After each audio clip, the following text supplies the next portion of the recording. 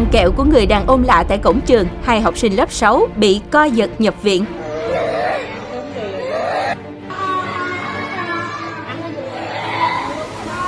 Dẫu biết bài học không được nhận bánh kẹo, đồ ăn hay bất cứ đồ vật gì khác từ người lạ, đã được thầy cô và các bậc phụ huynh dặn đi dặn lại. Thế nhưng vẫn có trường hợp đáng tiếc xảy ra, khiến hai em học sinh lớp 6 tại Tây Ninh phải nhập viện trong tình trạng khó thở, co giật.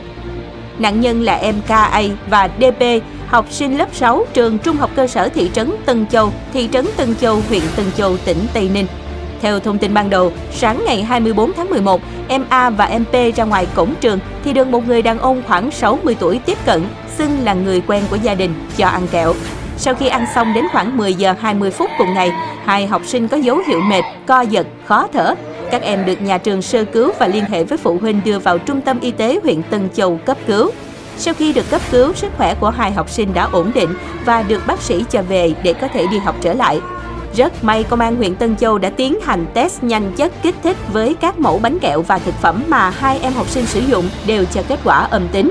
Bên cạnh đó, đoàn kiểm tra liên ngành về vệ sinh an toàn thực phẩm huyện Tân Châu cũng tiến hành lấy các mẫu thực phẩm có liên quan gửi về Chi cục An toàn vệ sinh thực phẩm tỉnh Tây Ninh xét nghiệm để xác định rõ nguyên nhân.